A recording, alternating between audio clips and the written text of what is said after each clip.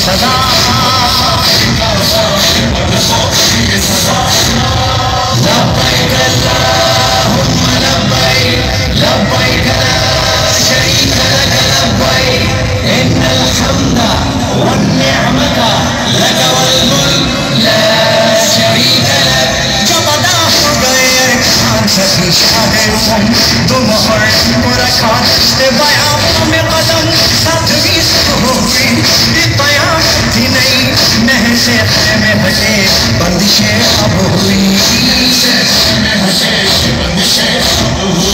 याशमन दूर हुई हर खुशी